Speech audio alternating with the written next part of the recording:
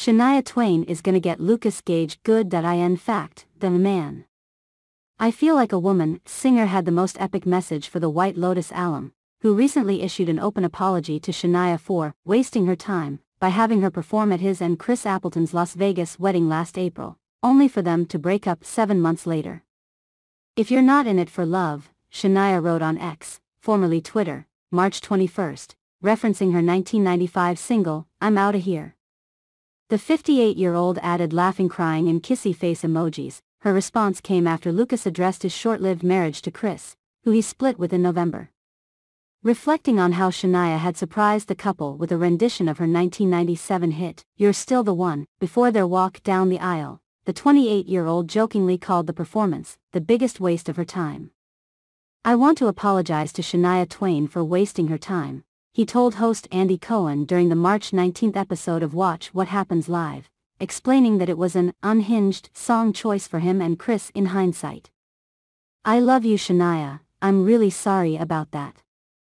Shania Twain PHOTOS Shania Twain's sexiest looks but that wasn't the only regret Lukas had about his nuptials with the celebrity hairstylist, who enlisted his friend Kim Kardashian to officiate the ceremony. Acknowledging that the Kardashian star flew the couple out to Vegas, Lukas sheepishly said, yeah, sorry to Kim and Shania. Shania Twain, Lukas Gage, Chris Appleton Rick Kern slash Getty Images for CMT, Jed Cullen slash Dave Bennett slash Getty Images The Euphoria star also wasn't a huge fan of his and Chris' wedding looks, which consisted of matching black fur coat and leather pants. I don't know what happened, he quipped. The fur coats was a horrible idea. Lukas added, I don't know, literally, what went through my head, but we live and we learn. During his appearance, Lukas also shot down cheating rumors but cited an NDA as the reason to why he couldn't elaborate on why he and Chris broke up. I had a manic episode for six months, Lukas said of the marriage. That was probably one of the most unhinged things I've ever done in my life.